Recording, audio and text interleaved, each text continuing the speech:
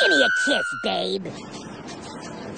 When Joe came to town, he got the typical. We greeted him with open arms. My first place. All six of them. You can toss. Sure. And what do we get for it? He hates our cat.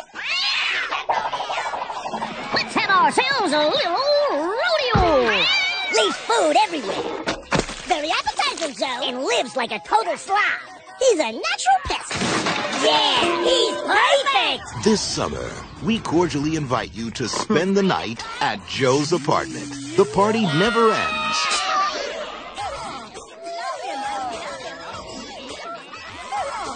The dates never stay. I wouldn't mind fondling her.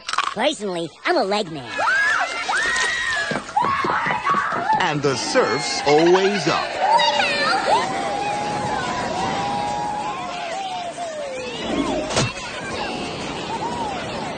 Joe's apartment. Sex, bugs, and rock and roll.